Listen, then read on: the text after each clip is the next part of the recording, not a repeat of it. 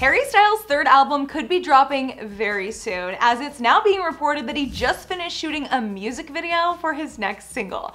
Best news ever. Let's get into it. Following the massive success of his sophomore album, Fine Line, which Harry Styles released back in late 2019, it seems he's gearing up to drop new music very soon. Last December, British tabloid The Sun reported that Sony Music CEO Rob Stringer had revealed that Harry will be releasing HS3 before the end of March of this year. The publication went on to inform us that Harry had actually been working on his upcoming album since early 2020, managing to squeeze in some writing sessions before the pandemic had everyone on lockdown. According to a source of the outlet, Harry ended up recording most of the new record in the UK, and he's really excited about this new material. And so are we!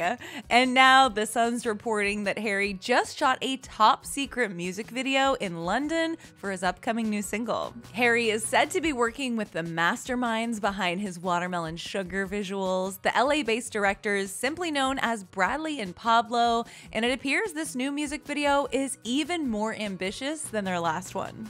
Brilliant! It's magic! Harry actually landed in the UK last month along with his girlfriend Olivia Wilde, and the happy couple was spotted in London last week as they celebrated Harry's 28th birthday at a low key restaurant. One thing is for sure though, if Harry does indeed end up releasing his new album next month, that means that lucky fans with Coachella tickets could be the first ones to see him perform his new music live.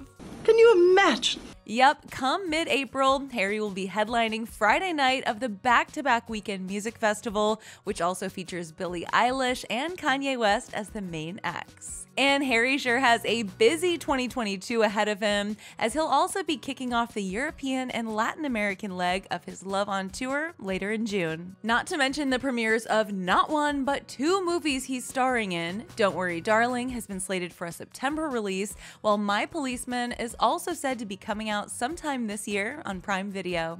And of course, after getting a quick look at Harry as Star Fox in the post-credit scene for Marvel's Eternals, fans can't wait to see him take on a sequel, though no word yet on when filming will begin for that. We're just happy to see Harry making all his dreams come true and taking us along for the ride.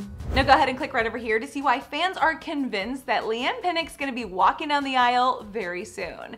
Then hit those comments and let us know all your thoughts on Harry possibly dropping this album and new single and new music video very soon. Give us all the Harry content. I cannot wait. For now, I'm your host, Carly Henderson. Find me on social media at Carly Henderson underscore, and I'll see you next time.